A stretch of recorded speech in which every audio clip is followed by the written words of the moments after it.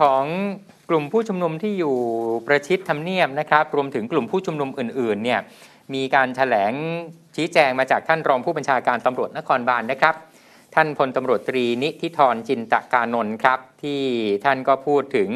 เรื่องของการเตรียมความพร้อมเกี่ยวกับสถานการณ์การชุมนุมของกลุ่มเห็นต่างทางการเมือง และก็มีการนัดรวมตัวชุมนุมกัน ของกลุ่มผู้ชุมนุมหลากหลายกลุ่มด้วยกันนะครับ ก็ประกอบด้วยกลุ่มสหภาพแรงงานรัฐวิสาหกิจ รถไฟแห่งประเทศไทย บริเวณทำเนียบ กลุ่มเครือข่ายจนะรักถิ่น และกลุ่มสนับสนุนบริเวณหน้าทำเนียบ กลุ่ม People ศิลปินเพลงเพื่อราษฎร บริเวณหน้าเรือนจำพิเศษกรุงเทพ กลุ่มพลเมืองโต้กลับ บริเวณหน้าศาลฎีกา และเฝ้าระวังกลุ่มก่อความไม่สงบ กลุ่มทะลุแก๊ส บริเวณแยกดินแดงนะครับ ท่านก็สรุปเหตุการณ์นะครับของ เมื่อวานนี้ให้ฟังว่าทางกลุ่มสมาพันธ์ สมาคม ชาวประมงพื้นบ้าน กลุ่มศูนย์รวมประชาชนปกป้องสถาบัน และกลุ่มพลเมืองโต้กลับ รวมถึงกลุ่ม People ศิลปินเพลงเพื่อราษฎรเนี่ยเป็นไปด้วยความเรียบร้อย ไม่พบการก่อความไม่สงบ และไม่พบการรวมกลุ่มของมวลชนในพื้นที่ครับ ส่วนกลุ่มจนะรักถิ่น และกลุ่มแนวร่วมเนี่ยท่านก็แถลงออกมาว่านะครับ มีการประกาศเดินเท้าจากทาง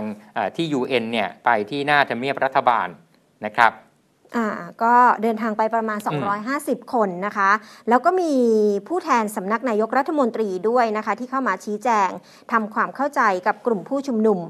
เวลา 22 นาฬิกา 20 นาทีเมื่อคืนนี้เนี่ยเจ้าหน้าที่ตำรวจเข้าเจรจานะคะ เพื่อขอให้ย้ายจุดชุมนุมไปบริเวณถนนพระราม 5 ตรงศาลกรมหลวงชุมพร เพื่อเปิดการจราจรในช่วงเช้า ให้ประชาชนทั่วไปได้สัญจรกัน